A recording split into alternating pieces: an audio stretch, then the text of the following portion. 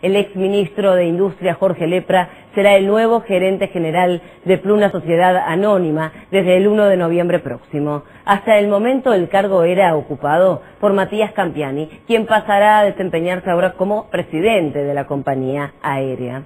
Incrementar los vuelos a Brasil es el principal objetivo de la empresa a corto plazo.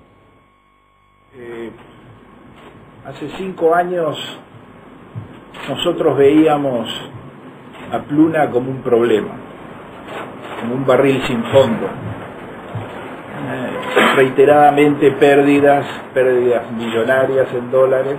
El grupo Lidgate entró en Pluna y realmente la transformó. Tanto es así que hoy los resultados operativos de Pluna son positivos, pasó de 300.000 pasajeros a 700.000 pasajeros.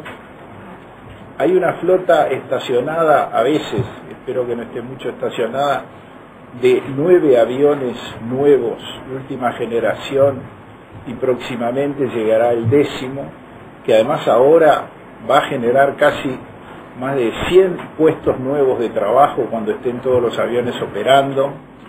En fin, estamos frente a una de las transformaciones empresariales quizá de las más importantes que han habido en los últimos tres años en Uruguay.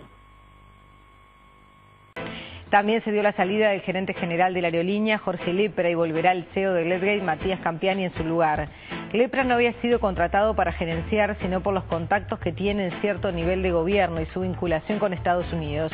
El ejecutivo cobraba un sueldo elevado, lo que también es difícil de bancar para Letgate, según esta compañía.